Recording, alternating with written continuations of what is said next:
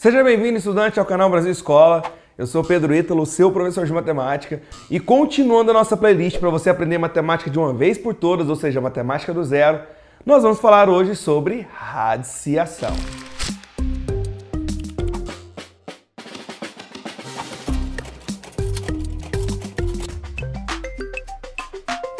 Seguinte, quando você olha para a radiciação, esse númerozinho que vai estar aqui, ó, que no caso é o nosso n, ele vai fazer o papel de índice. Esse desenho aqui, ó, esse desenhozinho que está de azul para vocês, é o nosso radical.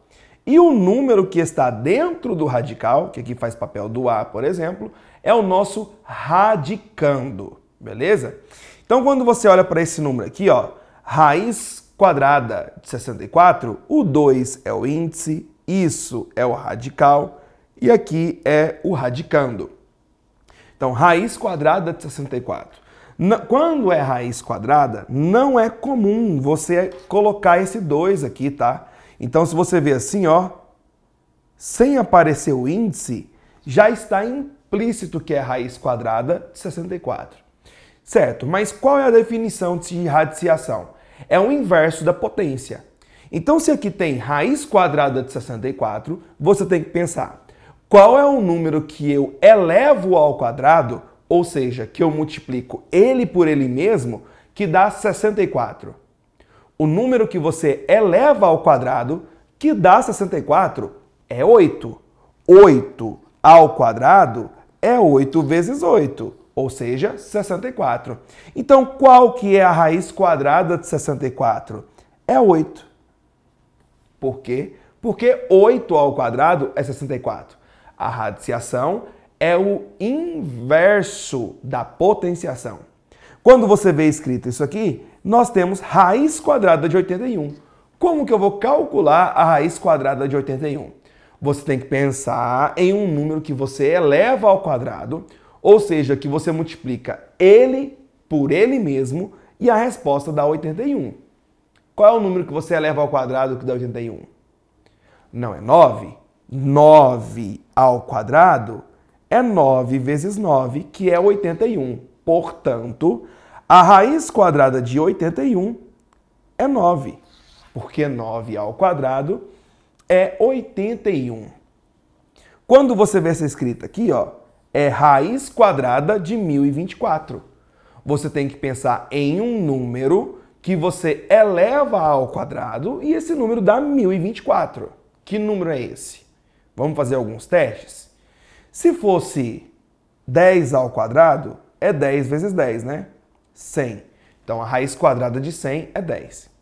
Se fosse 20 ao quadrado, é 20 vezes 20.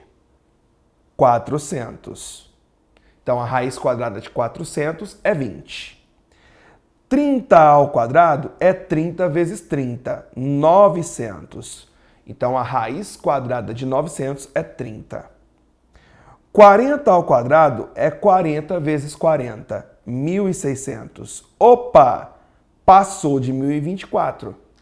Isso significa que a raiz quadrada de 1024 é um número entre 30 e 40. É um número entre 30 e 40, ok? Então é 30 e alguma coisa.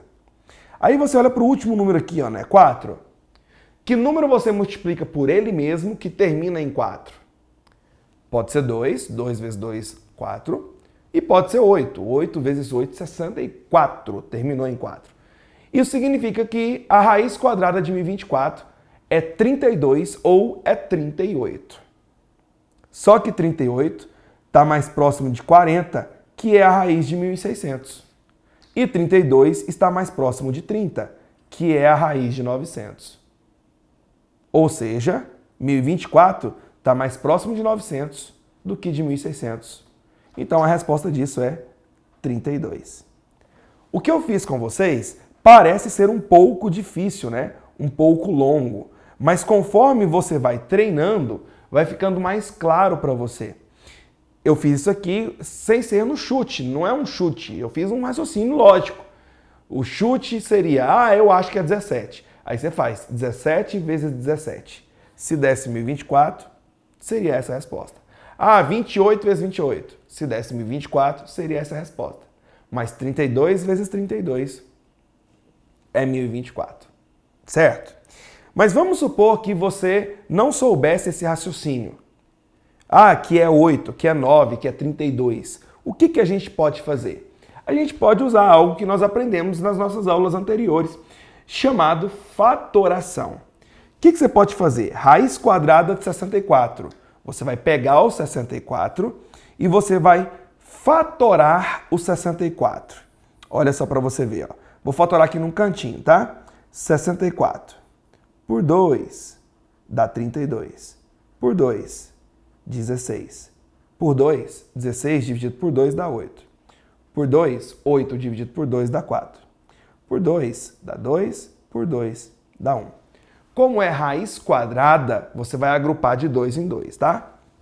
Aqui fica 2 ao quadrado, aqui fica 2 ao quadrado e aqui fica 2 ao quadrado.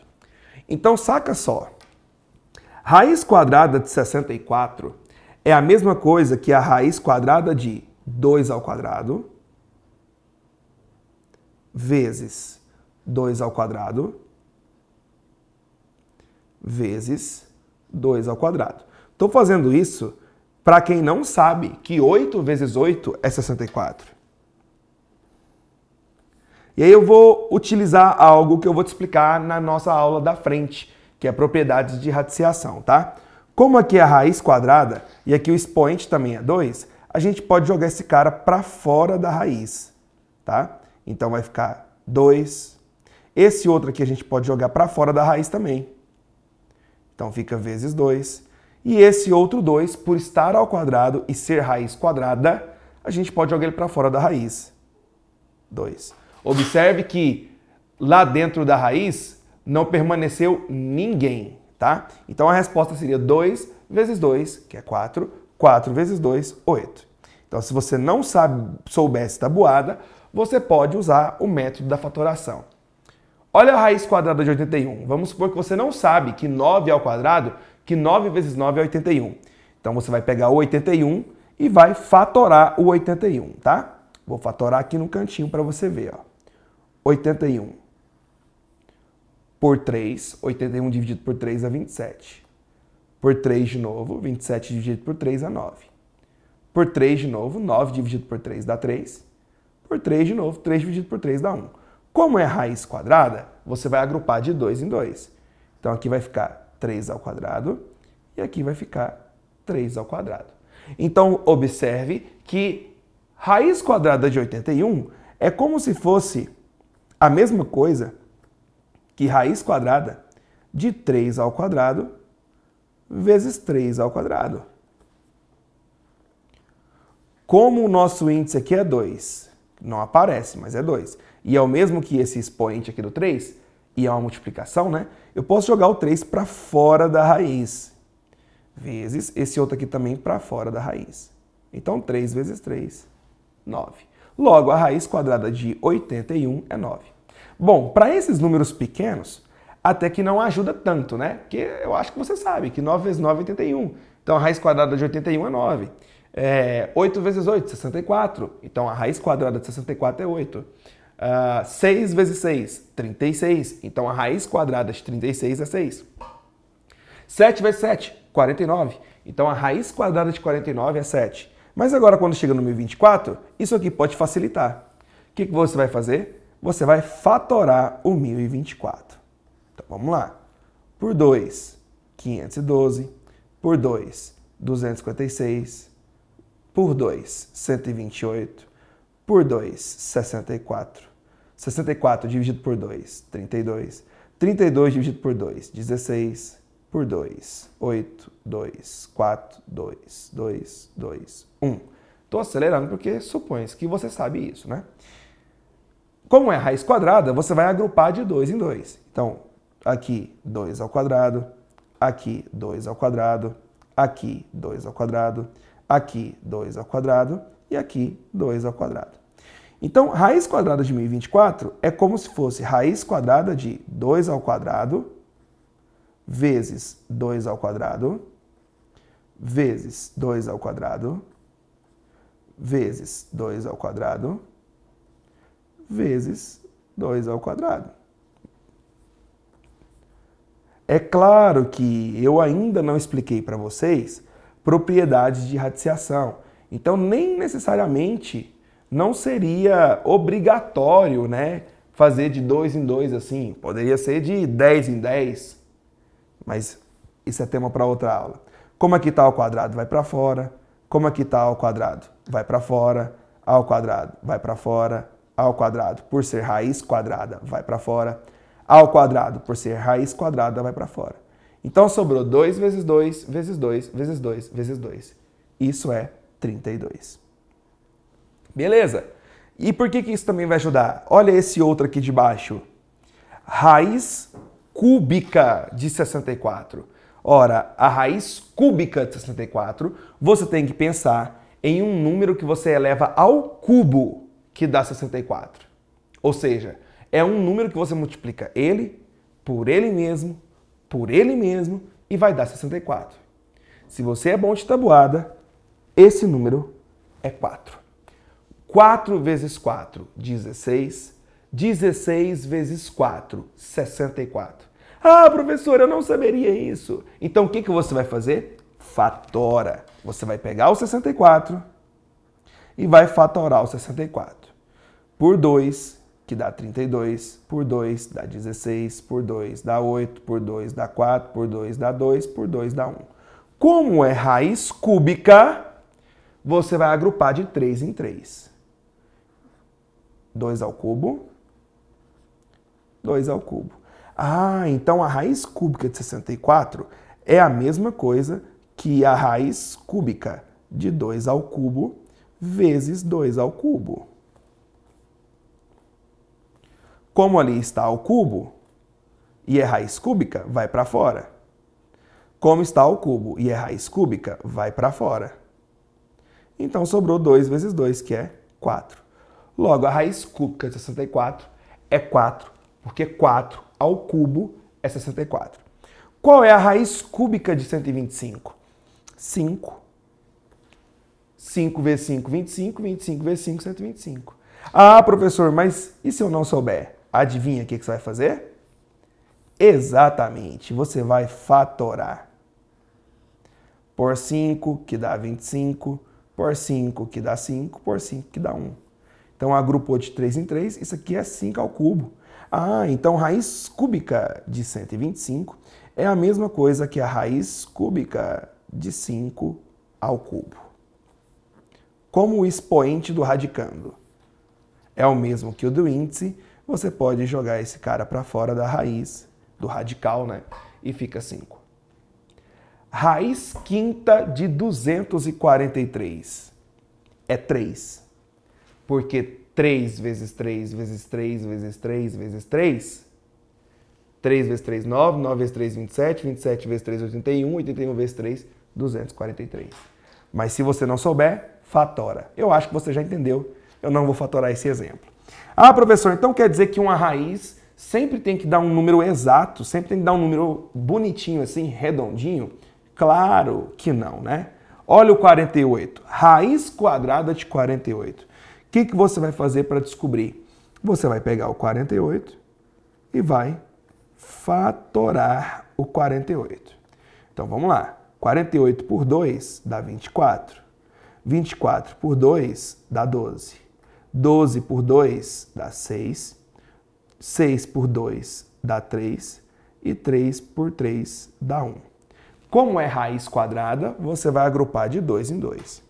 Então aqui, 2 ao quadrado. Aqui, 2 ao quadrado. E esse 3 aqui não tem ninguém para agrupar com ele, então ele permanece sozinho. Então qual que é a raiz quadrada de 48?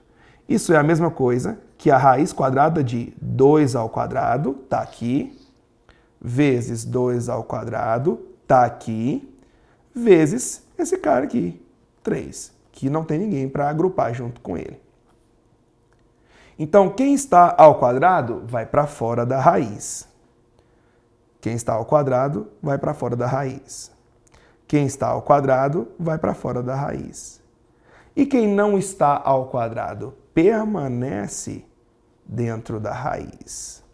Então, raiz quadrada de 48 é a mesma coisa que 2 vezes 2, 4. Então, é 4 raiz quadrada de 3. Raiz quadrada de 300. O que, que você vai fazer? Você vai pegar o 300 e vai fatorar o 300. 300 dividido por 2 dá 150. 150 dividido por 2 dá 75. 75 dividido por 3 dá 25. 25 dividido por 5 dá 5. E 5 por 5 dá 1. Como é raiz quadrada, você vai agrupar de 2 em 2. 2 ao quadrado. Esse 3 aqui não tem ninguém para agrupar junto com ele.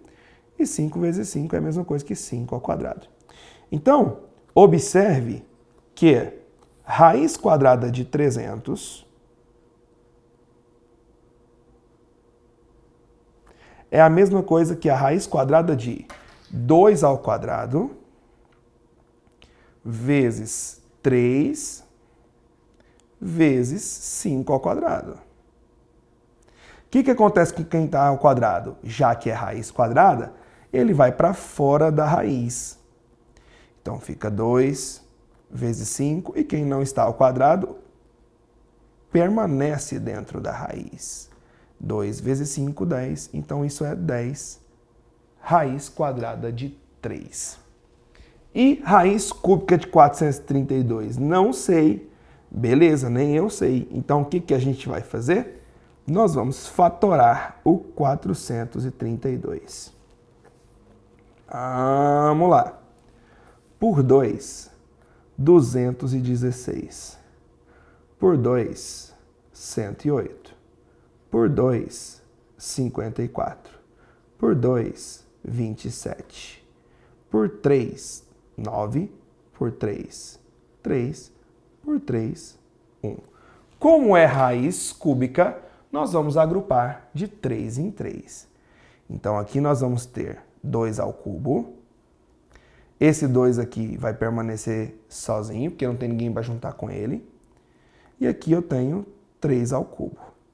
Ah, então a raiz cúbica de 432 é a mesma coisa que a raiz cúbica de 2 ao cubo, por causa desse cara, vezes 2, por causa desse cara, vezes 3 ao cubo, por causa desse cara. Quem está ao cubo, como é raiz cúbica, vai para fora da raiz. Então, esse vai para fora da raiz, esse vai para fora da raiz e esse vai permanecer dentro da raiz. E não esqueça que a raiz é de índice 3, ou seja, é uma raiz cúbica, tá? É importante você não esquecer disso. E 2 vezes 3 é 6. Então, isso aqui é 6 raiz cúbica de 2. Isso seria a raiz cúbica de 432. Beleza? Curta, compartilhe, se inscreva no canal se não é inscrito, ative o sininho para você receber as notificações. Vá lá embaixo, deixe seu comentário que eu vou estar te respondendo, tá? No mais, o segredo para você aprender matemática de uma vez por todas é treinar, né? Não adianta só ficar assistindo a minha aula aqui sem fazer as anotações e sem treinar. Então, bom treino para você. Beijo para quem de beijo. Abraço para quem de abraço. Tchau, obrigado!